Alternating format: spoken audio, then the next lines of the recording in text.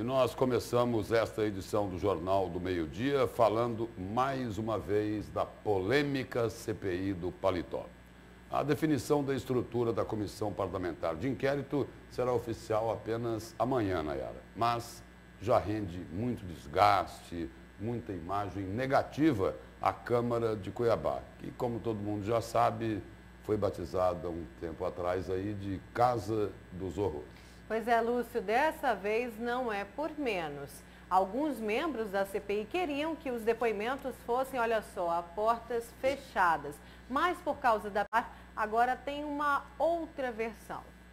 O vereador Gilberto Figueiredo, do PSB, mostrou indignação com a possibilidade das oitivas serem fechadas. Iria apresentar requerimento à casa pedindo documentos, como a ata da reunião dos membros da CPI, que poderia ter aprovado o formato das oitivas. Caso fosse de fato esta a deliberação da comissão, ele iria entrar com um mandado de segurança. Iria brigar na justiça para impedir tal estrutura de condução dos trabalhos da comissão. Para ele, tal modelo seria ilegal e imoral. Para que eu possa entrar com mandado de segurança, eu preciso ter materialidade em cima do objeto do mandado de segurança. Nós, vereadores, ainda não temos oficialmente comunicado nem por comissão, nem para presidente da casa, dessa decisão da comissão, absurda, inclusive, de fazer oitivas em portas fechadas.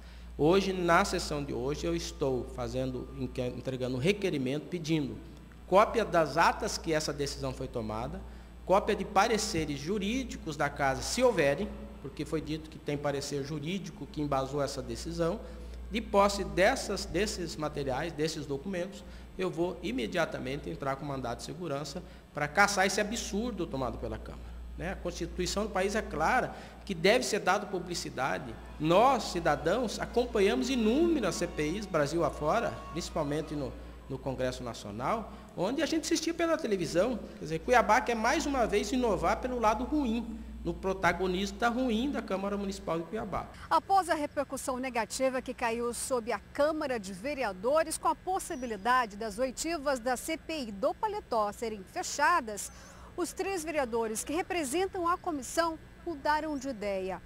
O relator, Adevair Cabral, disse que nunca cogitou que as oitivas fossem secretas, apenas reservadas. Isso sem a presença apenas da população.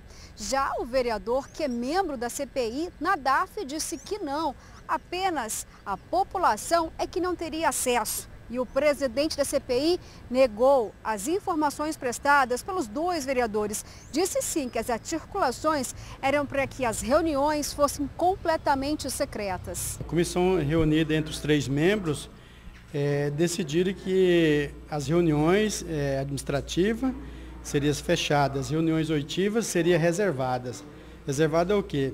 É aberta à imprensa, aberta aos vereadores e, e só não à população mas é, essa votação foi votada pelos três membros, não foi só por mim nem por Marnadá, foi aprovada também pelo presidente da comissão da CPI. Mas, mas ontem ele disse que não concordava. Não, ele concordou. É, tudo que está na ata, inclusive tem a ata. A ata está aí, só que não foi assinada ainda. Mas foi é, autorizado pelos três membros. Mas amanhã nós vamos ter uma outra reunião administrativa, sem problema nenhum. Poderemos colocar aberto em tudo, aberta as oitivas para a população é, para a imprensa, para os vereadores, para quem quiser, quem tiver interesse vai poder participar. Então, é uma posição já minha, é, diante dos meus eleitores, das pessoas que me pediram, vai ser aberto. Pelo menos vai ter o meu voto, que as oitivas vai ser aberto, população e a imprensa. Foi consensuado entre os três membros da comissão que nós faríamos algumas reuniões, é, reuniões reservadas foi tão somente isso. Isso não foi publicizado, ainda não foi assinado e com certeza, depois desse entendimento, nós iremos levar essa proposta de CPI aberta para todos, sem sombra de dúvida. O que é muito importante é que a CPI não se transforme num espetáculo. Né? Nós teremos aberto, mas ela tem que trabalhar, ela tem de andar.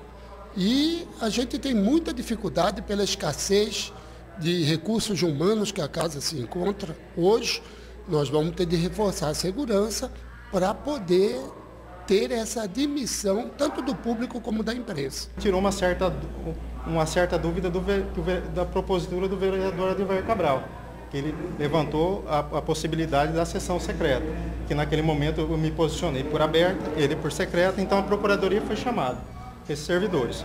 Vereador, secreta ou reservada? É, as palavras são reservadas, mas com a presença só dos vereadores, a população não está presente, para mim, acaba sendo secreto. E a imprensa? E a imprensa? Nem, naquele momento, nem imprensa. Nem imprensa? Nem imprensa. Ou seja, os três parlamentares que compõem a CPI têm versões diferentes quanto ao sigilo que era desejado nos trabalhos. Com exceção apenas do presidente da CPI, o vereador Marcelo Bussic, que sempre foi contrário à restrição de publicidade das oitivas e, na realidade, a oficialização do formato e trâmite dos trabalhos acontece apenas nesta quarta-feira, em sessão aberta. A primeira reunião deliberativa da CPI, deliberativa, já todos sabem que vai decidir alguma coisa. Está convocada para amanhã, dia 6, que vai deliberar sobre o que, que é a pauta, o plano de trabalho da CPI. Então, essas reuniões que teve foram reuniões de debate e discussões. Mesmo sem a oficialização do formato da comissão, os interrogatórios devem ser iniciados no mês de fevereiro, quando os parlamentares retornam das férias. Antes disso, o calendário das oitivas será elaborado, podendo ser convocados o ex-governador Silval Barbosa e o prefeito Emanuel Pinheiro. A CPI do Paletó vai apurar se o prefeito da capital recebeu propina do ex-governador Silval Barbosa, o que pode configurar quebra de decoro parlamentar. O prefeito foi flagrado colocando maços de dinheiro no paletó. Existe a suspeita de que pode ser verba de mensalinho recebido pelos deputados. E diante das repercussões negativas sobre a Câmara de Vereadores tentar emplacar uma CPI fechada, os membros acreditam que a imagem da CPI, que nem começou, não teria ficado arranhada. De maneira nenhuma foi arranhado. Né? Nós queríamos preservar a questão das, de algumas oitivas que teriam aqui. Algumas correm segredo de justiça. Esse é até o entendimento da corte mais elevada da justiça do país, mas voltamos a falar, garantida a justiça, as auditivas, as audiências, as sessões serão públicas e com a participação da imprensa.